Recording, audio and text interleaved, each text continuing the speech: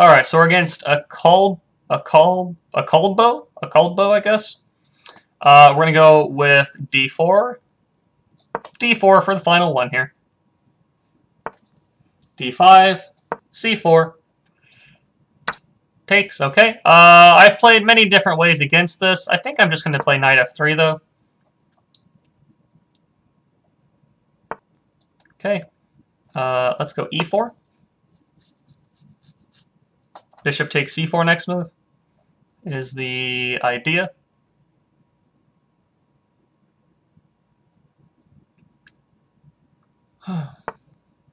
okay, he attacks the pawn. Um, I think we're just going to advance it.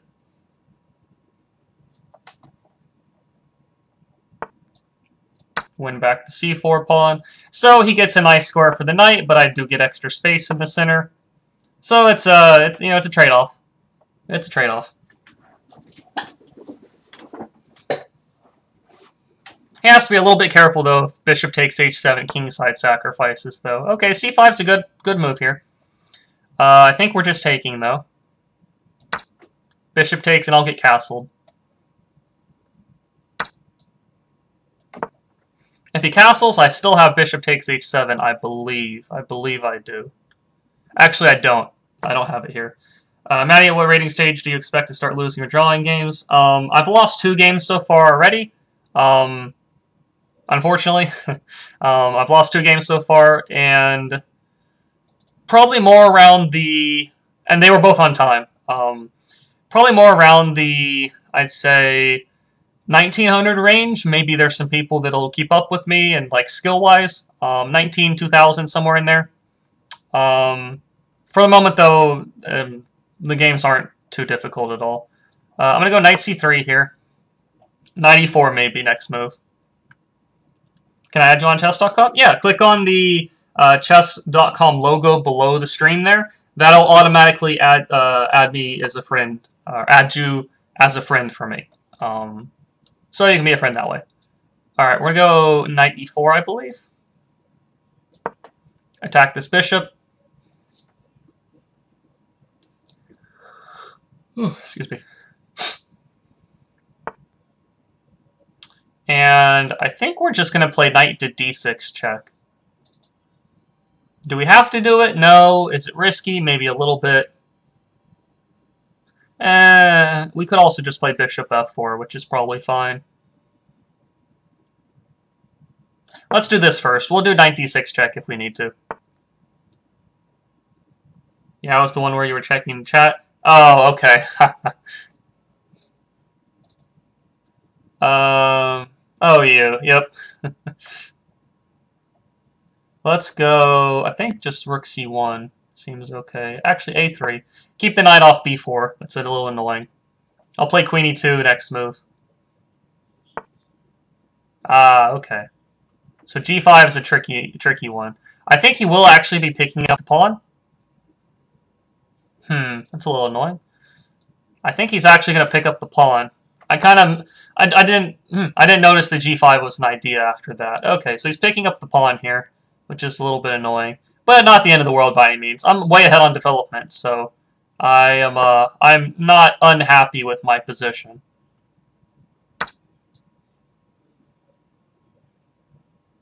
Bishop e2. We'll play f4 at some point, open up the f file. He really doesn't want to castle kingside after these pawn moves. And, um... Okay, knight c3, no big deal. I don't want to let him get in f4 too easily, though. So f... Uh, I'm sorry, I'll, I'll play f4 pretty soon. If he plays bishop g5, I'll play f4. Uh, probably. I think that's the way to go. Um... Uh...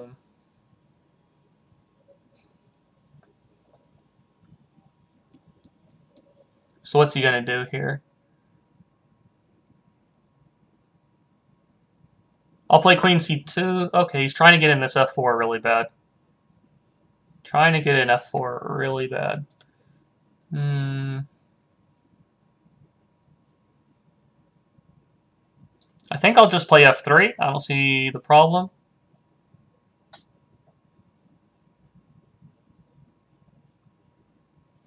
I could also play like queen c2, knight there, check. Eh, let's play f3 though. I think this is fine.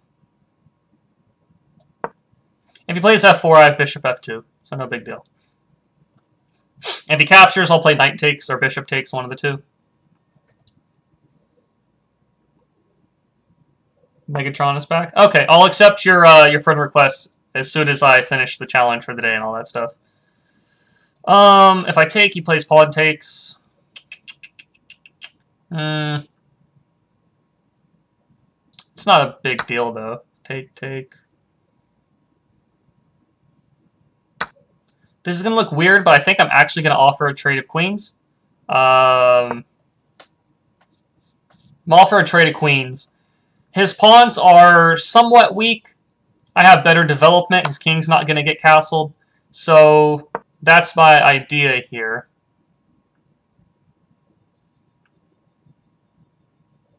Give me the Autobots to redestroy the world. Yeah. Megatron. My name is Megatron. Megatron is back. Uh, okay, so we're playing rook takes. Down a pawn, but not a bad position. Knight to b5 is actually a big idea. Knight b5 to c7. Or knight d5. Um, I guess other way, either way is possible. Eh, we gotta make a move quick though. Let's not let's not lose on time again. Knight c7 is the idea. Rook d5 is also possible. Maybe I should have played that instead.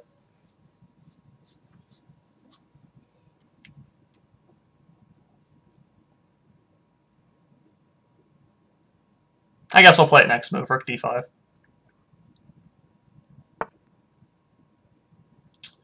Uh, okay, I think we're going to play bishop e1. If he plays g3, I have h3. I think I'm fine. It's a little risky, though, for sure. Definitely a little risky, and I definitely am way behind on time, which is not good.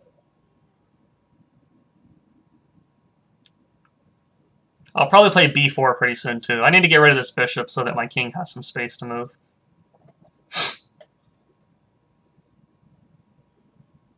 Knight c7, I mean, that's his. That's the big threat right now. I don't think he's got checkmate.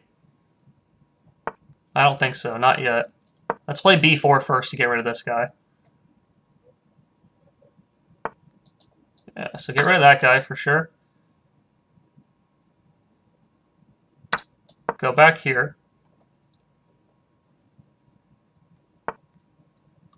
Play knight d6, hit the b7 pawn.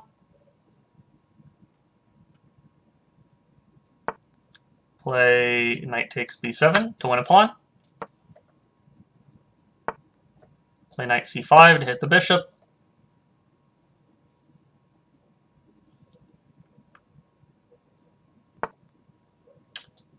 Take the bishop. Take this with check. He's actually almost getting checkmated.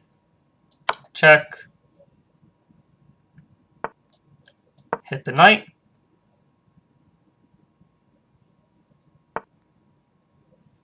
Take a free rook.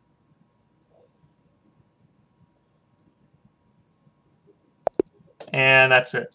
Okay, so we'll analyze this one uh, and see what was going on here. Uh, the opening's pretty decent by both sides. His c5 move is okay. The problem, though, he, he never gets castled, even though it is always a little risky to get castled. Um, see, he, he wins a pawn with g4. However, I don't panic at all. You know, he's up a pawn, no big deal. Um, the main thing is that he's behind on development and his king side's very weak. So, for a pawn, that's not a bad trade-off in my opinion. So take, take here.